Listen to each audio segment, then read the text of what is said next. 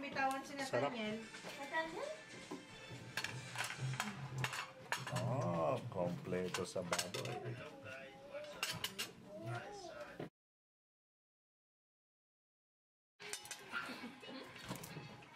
Mmm, pampabata yun ah. Tinupura nito! Nakakalayo pa ako ng Ting, dito ka na para mapupo mo yan.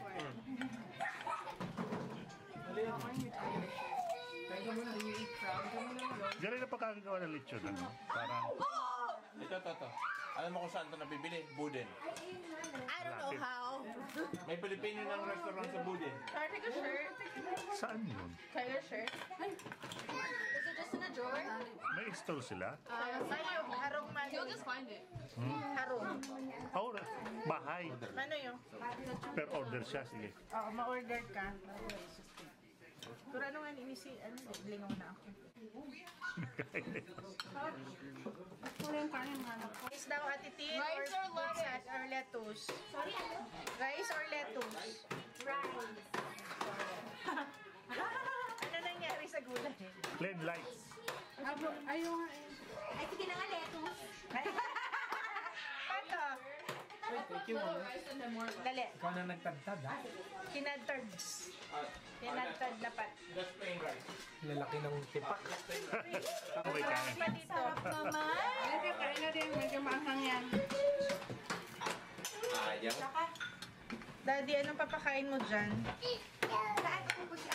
Ay, dito ka man. Lechon nga. Hindi, dito kayo yung pinabon, tapos dito kami. Yan, pwede kayo dyan. eh. Ka- Katabi. Ano? Anong gusto mo? Siya nga yung mantuman. Brown sauce? Siya daw, Ate Lucy. Ano? Kamusta yung lechon? Okay, mami. Lime na lime po. Talagang okay na to kasi sa manok. Bahay siya. Paano? Bakay, 170. O order ka lang. Tataw ko sa'yo mo si ano, Magkano ng ganyan? um, garo 80 ni Manu. Magkano? 80. 8 pounds yata ni. 8 pounds. Galing. Maray na. Mm-mm.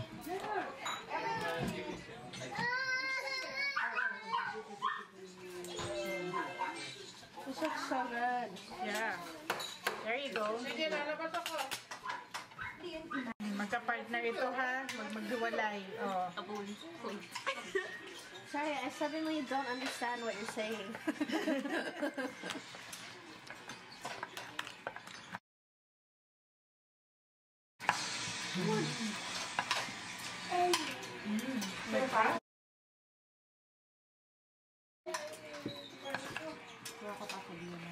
Pat, pwede huminga. Ako lang ba? Maalat ba yung ano? Bisid?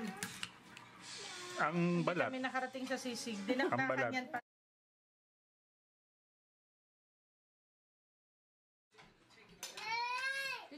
Dapat ang tapang ng lata. Ay, di.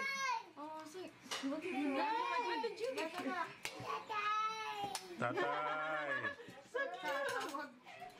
Sabi niya, tatay. That's so cute.